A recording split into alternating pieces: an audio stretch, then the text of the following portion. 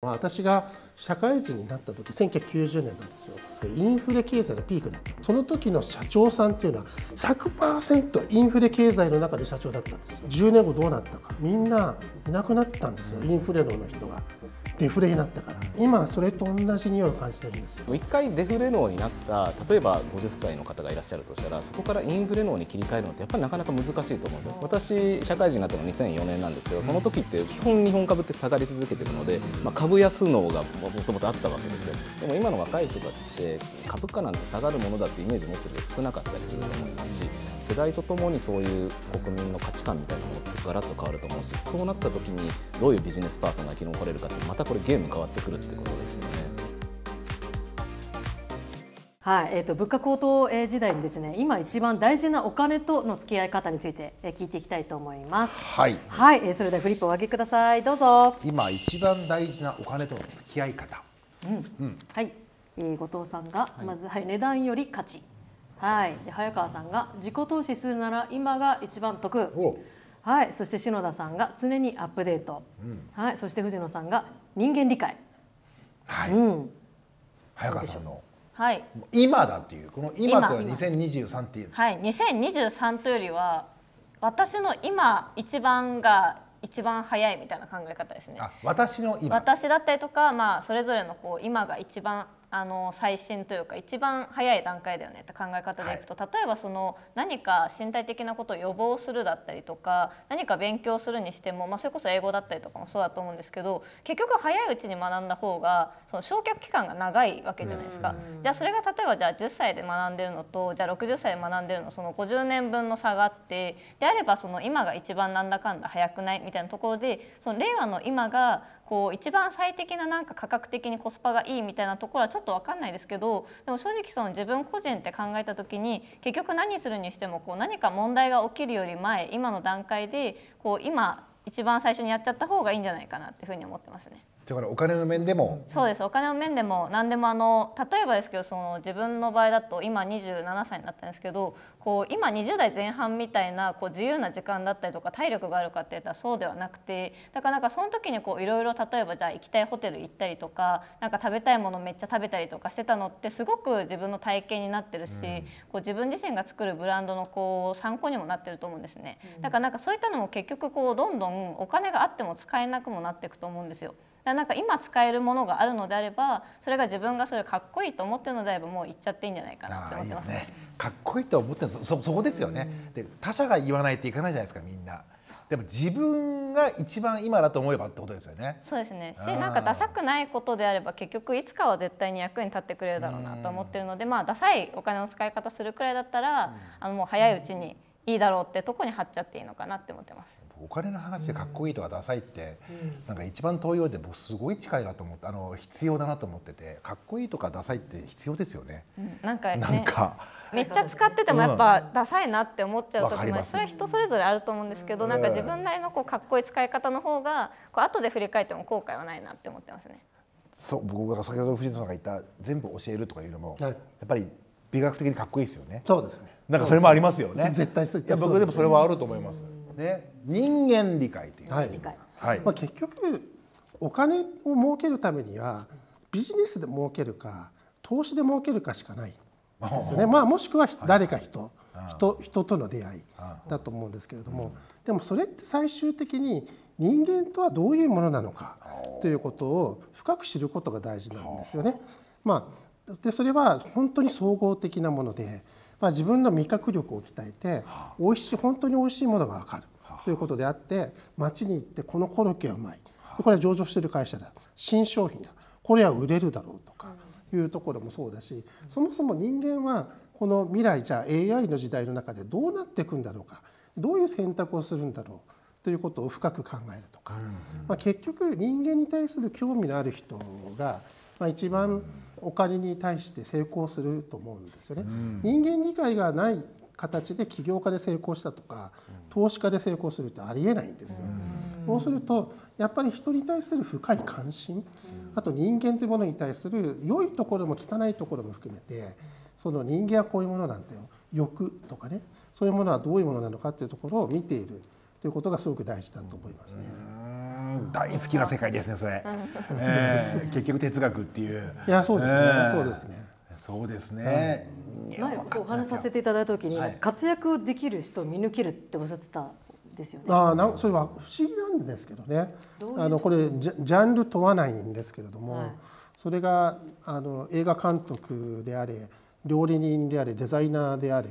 その人がまだなんかよくわかんない時からあこの人絶対世界的になるっていうのを瞬時にわかる力があって、あーなるほど。なんでわかるんですか？そのどうやったらまわかるの？あ科学的に言って霊能力ですよね。パワーが。なんか妖怪アンテナみたいなものが アンテナですよね。でもそれは多分私自身が子どもの時から人が好きで人に関心があってめちゃくちゃ小説を読んでいてだから人間に対するこう理解ということをまあずっと自分の人生のテーマにしていたってことも大きいと思いますよね。だからあのもちろんその投資の世界だからあの証券分析とかバランスシートを見るとかいうことはもちろんしてるんですけど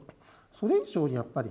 あの人を見るっていうところの方がすごくまあ大事だったし、まあ、その力をなんかじゅ、まあ、存分に発揮したっていうところが大きいかなと思います。なるほどね。深いです。人間理解ねまあそしてねこの番組はアップデート。アップデート。ねかけました。まさに常にアップデート。何をなのかっていう部分もあります。そうですね。これ、はい。でも実はあのそれこそ私が普段そう資産運用セミナーとかでお話ししてることなんですけどよくあのどのぐらい例えばじゃあ投資とか資産運用でリターンって目指せばいいんですかっていうご質問ってすごく多いんですけど、まあ、あの時代に取り残されない程度で十分なんですっていうことをお伝えしてるんです。で例えば今まあそれこそあの日経平均株価が3万円超えてとかってなってると、どうしてもそのそこでなんか儲けないと、あのダメなんさっきの6割で OK の話とちょっと似てるんですけど、投資でやっぱり100点120点取らないとなんか脱落者みたいに思われるのをやっぱり怖がる方ってすごく多いんですけど、まあ、資産運用の本質って時代に取り残されないお金が時代に取り残されないために最低限のあの、まあ、金融商品っていうかを持っておけば別にいいんですよね。で日本の場合は、まあ、30年間あの預金に入れといてもほとんど価値が変わらなかったので、ある意味それで OK だったんですよ。それでもう合格だったんですけど今まさにその世の中の物価とかも上がっていてこれがもう取り残され始めてるんで、あのだとするともうこれはダメですよと。そういうことか。あなので、まあ、ちょっと投資とか資産運用とか先ほどあの藤野さんもお話ねありましたけどやっぱりそのお金と付き合うっていう中の一つは投資は確実にあるので、でも早川さんがおっしゃった使うっていうところもやっぱり同じだと思ってて、あの市場価格とかいろんなサービスの価格ってどんどん変わってるので、それ使わないと実感もできないし、インプットにならないですもうん。ね。ん、こんなに上がってるんだとか、そうですね、うん。でもそこにやっぱり価値を見出せばきちんとそれは。